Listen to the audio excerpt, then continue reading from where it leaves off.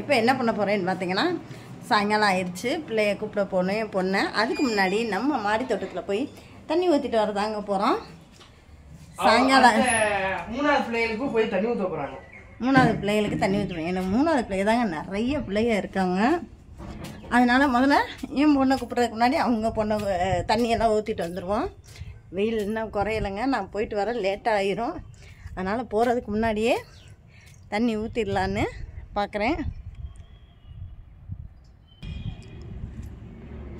எல்லாம் ஓரளவு அரேஞ்ச் பண்ணி இருக்குங்க. எல்லா செடிகளும் பார்த்தீங்கன்னா ஓரளவு அரேஞ்ச் பண்ணியாச்சு. இன்னும் நிறைய பண்ண வேண்டியது இருக்குது அதுக்கு முன்னாடி இந்த இடம் பார்த்திங்கன்னா கொஞ்சம் நிழலாக இருக்கும். ஏன்னா மண் கலக்கிறதுக்காக ஏற்கனவே சாப்ஸில் போட்டேன். மண் கலக்கிறதுக்காக கொஞ்சம் குட்டி பந்தல் அமைச்சோம். அதுதான் பார்த்திங்கன்னா நம்மளோட தோட்ட வேலைகள் நிறைய கலந்து வச்சு ரெடியாக இருக்குங்க.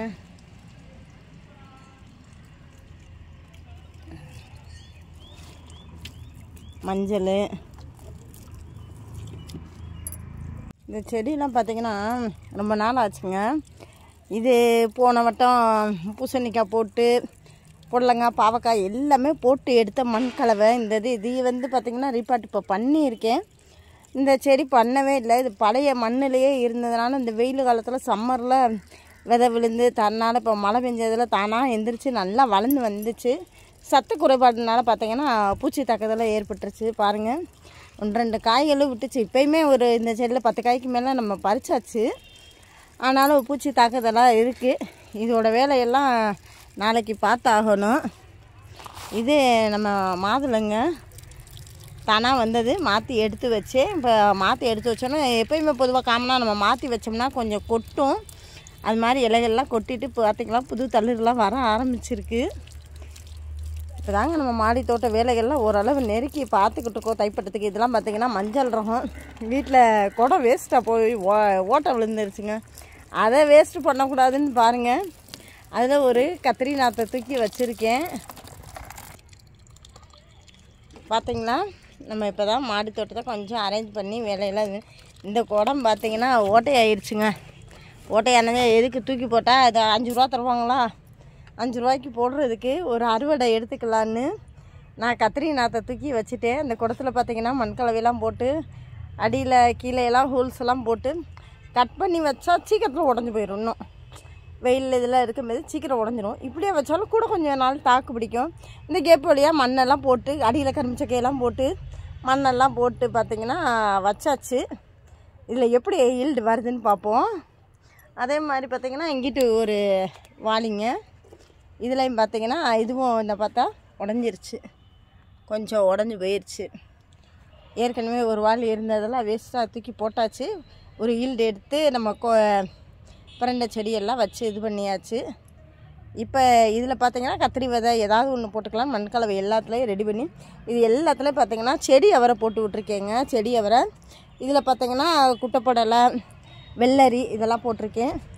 இங்கிட்டு பார்த்தீங்கன்னா பாவக்காய் போட்டு ஓரளவு வளர ஆரம்பிச்சுட்டாங்க. நிறைய பாவக்காய் இருக்குது ஆனால் இவ்வளோத்தையும் வளர விடக்கூடாது. நல்லா ஹெல்த்தியாக வளர்கிற செடிகளை மட்டும் வச்சுட்டு மித்த செடியெல்லாம் எடுத்து ஒன்று வேறு பாட்டில் மாற்றணும் இல்லாட்டி தூக்கி போட்டுறணுங்க.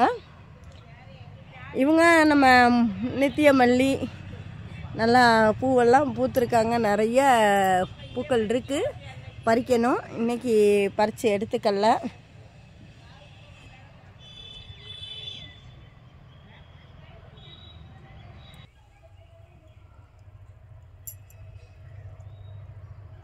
ஏர் பொட்டேட்டோ இருக்குது முளைச்சி வருது.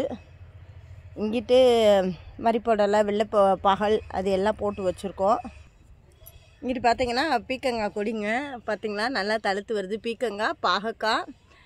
இது பார்த்தீங்கன்னா வேங்கேரி கத்திரி. கொஞ்சம் அந்த கத்திரி முதல்ல அந்த கத்திரி பூச்சி தாக்குதல் ஆயிடுச்சுன்னு அதோட தாக்கம் இதில் ஏற்படுது. என்ன பண்ணணும்னு பார்த்தீங்கன்னா அதை எடுத்த உடனே இதில் உள்ள இலைகள் இந்த பூச்சி இலைகள்லாம் கட் பண்ணி விட்டு கொழுந்து நல்லா இருக்க மட்டும் வைக்கணும். ஏன்னா வேங்கேரி கத்திரி பார்த்திங்கன்னா ரெண்டு வருஷம் மூணு வருஷம் இருக்குன்றாங்க.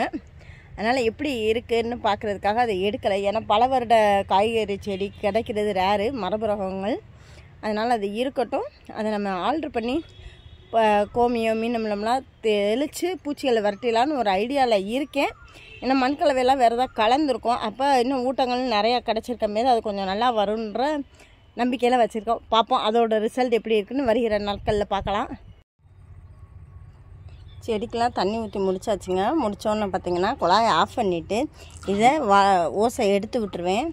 ஏன்னா நம்ம ஆஃப் பண்ணோமா ஆஃப் பண்ணலையான்னு அவசரத்தில் ஒவ்வொரு நேரம் மறந்துட்டு போயிடுவோம் இதை எடுத்துட்டோம்னு வைங்களேன் தண்ணி வருதா இல்லையான்னு தெரியும் இல்லாட்டி ஓஸ் மாட்டி இருந்துச்சுன்னா தெரியாது. தண்ணி ஊற்றின கையோடு கொஞ்சம் பிரண்டைகள் இருக்குது இதெல்லாம் பழைய செடிகள் தான். நிறைய இல்லாட்டினாலும் ஓரளவு இன்றைக்கி தேவையான அளவு இருக்குது அது எல்லாத்தையும் இன்றைக்கி நைட்டு துவையலுங்க. பிரண்டை சட்னி தான். கடல பார்த்தீங்கன்னா பட்டாணி போட்டு குருமா குழம்பு வச்சாச்சு. அதோட அடிஷ்னலாக பார்த்தா எங்கள் வீட்டில் என்ன குழம்பு இருந்தாலும் சட்னி தேவை.